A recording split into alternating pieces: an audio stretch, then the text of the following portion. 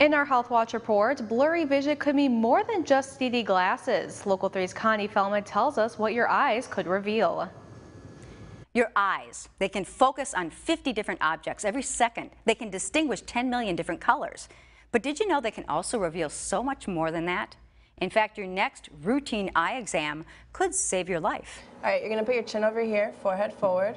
Your next eye exam could reveal so much more than if you need reading glasses or bifocals. By looking at these small blood vessels in the eye, you can get a clue to the presence of disease in other parts of the body.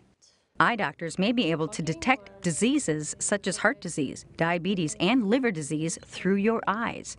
Diabetes can cause blurry vision, while yellow tinge in the whites of the eye could be a sign of liver disease. And for severe hypertension, Sometimes you can get hemorrhage in, in the retina.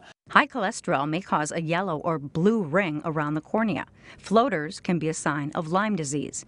Double vision is associated with multiple sclerosis, and dry eye can be linked with lupus and rheumatoid arthritis. Cancer can even be detected through the eyes. So before you skip your next eye exam, remember, you may not only be saving your sight, but also your life. Did you know that high blood pressure can also be detected in your eyes, which in turn can cause glaucoma, macular degeneration, and diabetic retinopathy? And that's your Health Watch.